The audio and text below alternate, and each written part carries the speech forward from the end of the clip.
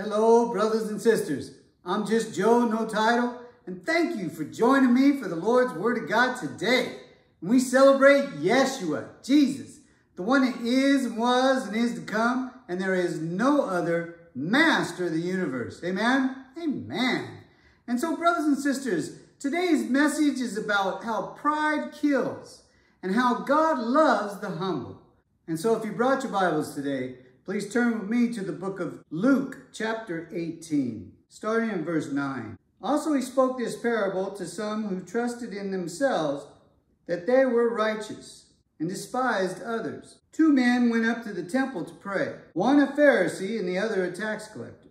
The Pharisee stood and prayed thus with himself, God, I thank you that I am not like other men, extortioners, unjust, adulterers, or even as this tax collector. I fast twice a week. I give tithes to all that I possess. And the tax collector, standing afar off, would not so much as raise his eyes to heaven, but beat his breast, saying, God, be merciful to me, a sinner. I tell you, this man went down to his house justified rather than the other.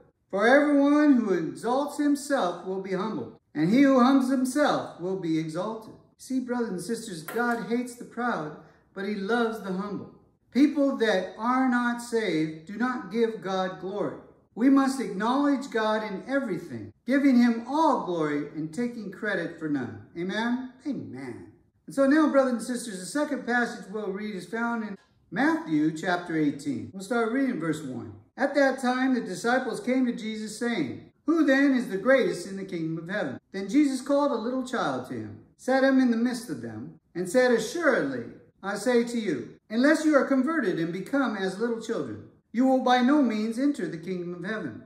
Therefore, whoever humbles himself as this little child is the greatest in the kingdom of heaven. So, brothers and sisters, you must be humble to be saved, to make it to the kingdom of heaven. In the book of Proverbs, chapter 16, the word of God tells us that everyone proud is an abomination to the Lord none will go unpunished. And in James chapter 4, it reads, God resists the proud, but gives grace to the humble.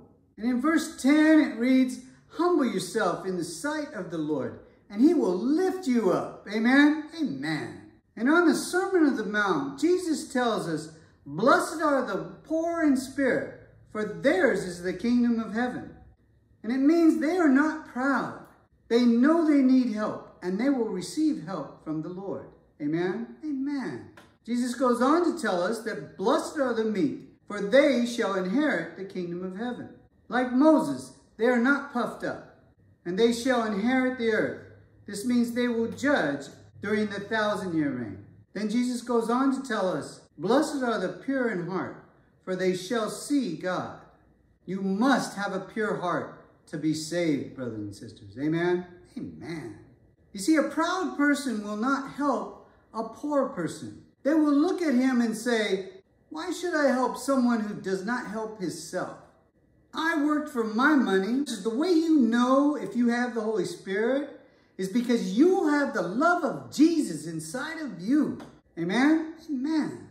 Love makes the world go round. And when love stops, the world will stop.